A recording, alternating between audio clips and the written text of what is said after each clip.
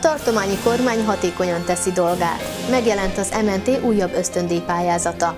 Nyilvános főpróbát tart a Mara Amatőr Szintársulat. Topolya erős embereinek trófeáit lehet megtekinteni a művelődési házban. Folytatódik az őszies időjárás.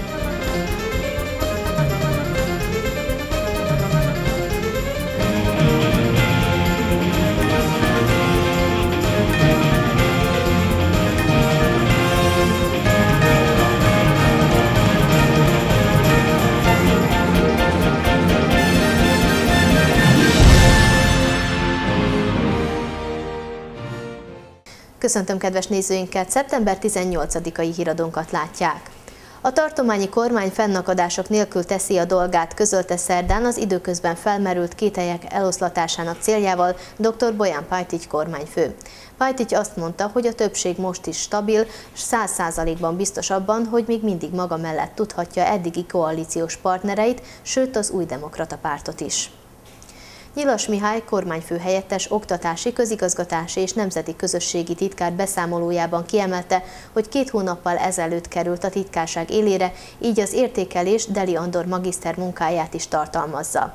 Az elvégzett feladatok fontos részének nevezte azoknak az előírásoknak, javaslatoknak a kidolgozását, amelyek a képviselőház elé kerülnek, és amelyeknek a céljuk összehangolni a tartományi előírásokat az új statútummal és az időközben megszületett új törvényekkel. A kormányról vagy közigazgatásról szóló döntések ezek közé tartoznak. Mint mondta, az elmúlt időszakban tovább fejlesztették a kétnyelvű szerb-angol vagy magyar-angol oktatást. Ezen a területen Vajdaság elsőnek számít, s a tapasztalatokra épülő hasonló projektum bevezetését már fontolgatja a köztársasági kormány is.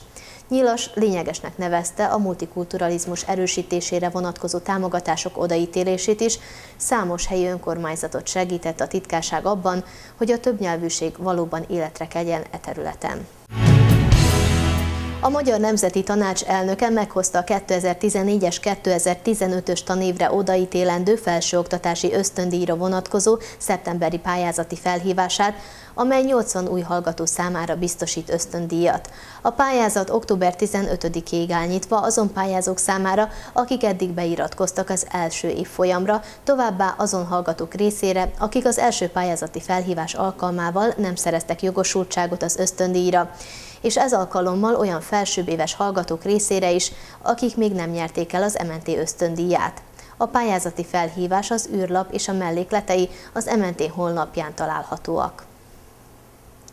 Harkaivas Éva, ami feltárul, s ami nem című naplóversei tartalmazó kötetének bemutatójára szeptember 19-én 18 órakor kerül sor a Topolyai Juhász Erzsébet könyvtárpadlás termében. A szerzővel Böndör Pál, a kötet recenzense és Patócs László beszélget. A kötet a helyszínen kedvezményesen 400 dinárért megvásárolható. A Topolyai Mara Amatőr Színházban Tasnádi István Finito a Magyar Zombi című végjátékát próbálják Körmöci Petronella rendezésében. Az érdeklődők szeptember 19-én 17 órakor megtekinthetik, hogyan is miként zajlik náluk egy próba. A szerepekben Sörfőző Károlyt, Petrás Gizellát, Bata Rozáliát, Bencsik Rihárdot, Szabó Erikát, Vörös Emesét, Benedek Miklóst, Eizler Evilát és Bogárdi Zsoltot láthatjuk. Minden érdeklődőt várnak.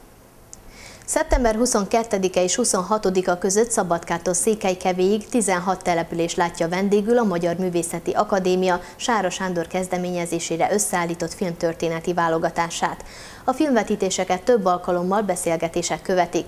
Rendezők, jeles filmesztéták, írók osztják meg velünk emlékeiket régi forgatásokról, azokról az alkotókról, akik már nem lehetnek közöttünk.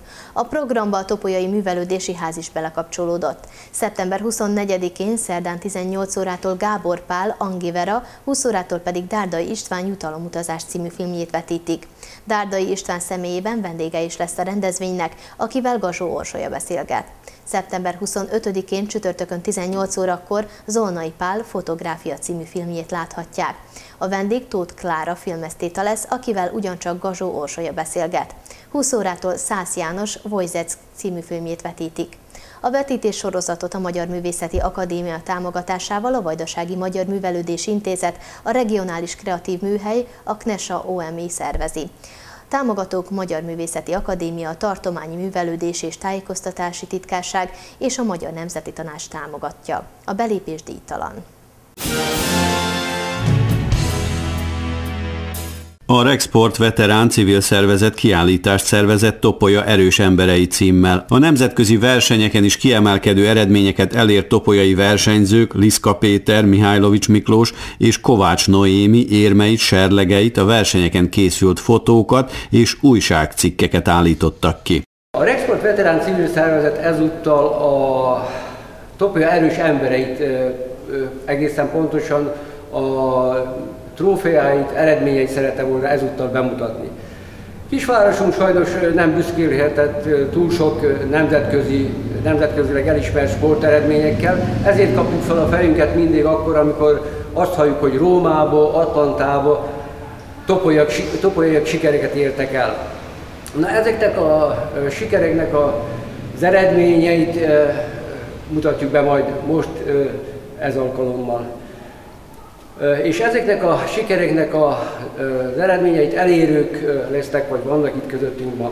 Liszka Péter még 1979-ben kezdett el versenyeken fellépni, szinte hihetetlen, de azóta 192 aranyérmet szerzett, és akkor még a többi trófeát nem is említettük.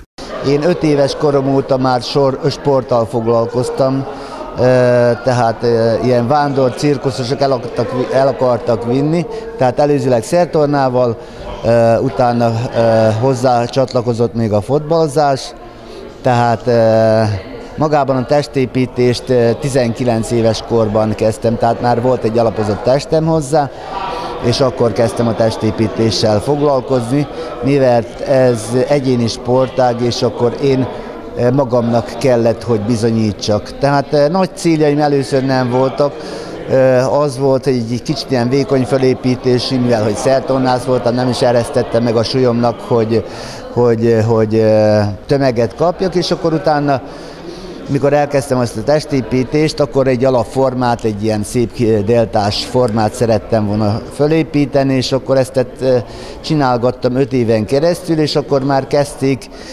bizonyos személyek, akik már előzőleg foglalkoztak ezzel a sportággal, hogy hát eh, miért nem csinálom versenyszerűen. Mihálylovics Miklós világversenyeken és Európa-bajnokságokon állhatott fel a dobogók valamelyik fokára. Büszke vagyok ezekre az elért eredményekre, és nagyon szépen köszönöm a szervezőknek, hogy megcsináltak ezt a kiállítást, és így Topolya összes lakosának meg tudjuk mutatni, hogy mennyi munka, mennyi izadás van ebben a, ezekben az eredményekben. Az eredmény az számos, talán te is összeszámoltad, hogy hány vagyis hány medál, hány diploma, hány serleg, milyen szinten? E, a serlegeket tartom számon, e, azokból van 53. Az érmeket és a diplomákat, azokat nem, mert abból rengeteg van, abból közel száz van, úgyhogy azt, azt nem. Azt a gyerekem szokta számolgatni, meg letörölni róla a port, mikor beporosodik, úgyhogy de serleget a számon tartom, abból 53 van. Mindenféleképp itt kiemelném a 2011, illetve 2013-ban elért világbajnoki címet, valamint Las Vegasban 2012-ben a második helyet világbajnokságon, szintén 2012-ben Európa bajnoki cím, és tavaly a világbajnoki első hely mellé egy világbajnoki rekord is sikerült. Úgyhogy ezekre vagyok a legbüszkébb. Többire is persze, mert minden versenyen valamit sikerült elérni, de ezekre vagyok a legbüszkébbek. A kiállítás szeptember 27-éig látogatható a Topolyai Művelődési Házban, munkanapokon 10-től 14 és 16-tól 18 óráig, szombaton 10-től 12 óráig. Budapesten a Hősök terén szeptember 20-án és 21-én kerül megrendezésre a 7. Nemzeti Vágta döntő futama. A Zobnaticán megszervezett vajdasági vágtáról Tornyos, Bács-Feketehegy és Bács-Kossuth lovasa jutott be a budapesti döntőbe. Ők szeptember 20-án szombaton fognak fellépni a Hősök terén megépítésre kerülő lóversenypályán. Minden előfutamból 2-2 versenyző jut be a középfutamba, amelyre vasárnap kerül sor a nemzetközi és a nemzeti vágta döntője előtt. Pénteken folytatódik a kellemes szeptemberi idő, átmenetileg erősebben megnövekszik a felhőzet, de csak néhol alakul ki zápor. A déli szél megélénkül 22 fok körüli értékeket mérhetünk délután. Műsorainkat megtekinthetik a www.express.cu.rs címen, a Régió Rádiót hallgathatják és további híreinket olvashatják a www.regioradio.cu.rs honlapon, valamint követhetnek bennünket a Facebookon is. Kollégáim nevében is köszönöm megtisztelő figyelmüket, viszontlátásra!